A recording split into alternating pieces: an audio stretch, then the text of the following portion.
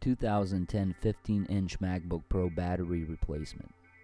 Begin by shutting down and flipping over the MacBook. We'll need to remove the three long Phillips head screws first.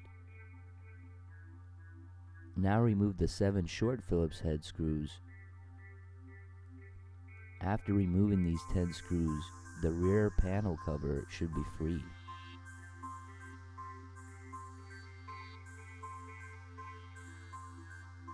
Go ahead and remove the rear panel cover. Battery removal. Begin by removing the three tri-wing screws securing the battery. The screw all the way on the left is hidden behind the tape.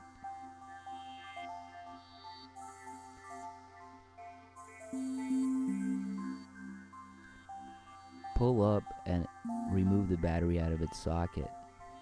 It's still connected to the logic board, disconnected by prying it left to right with your fingernail. Battery installation.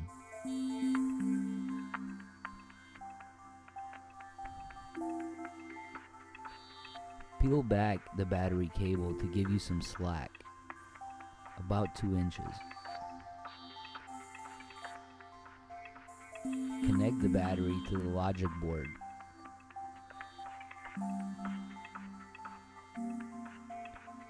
Insert the battery into the socket now. Install the three tri-wing screws.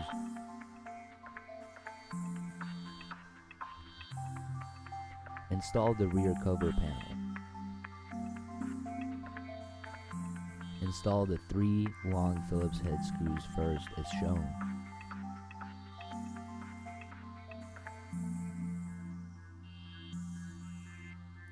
Now install the seven short Phillips head screws.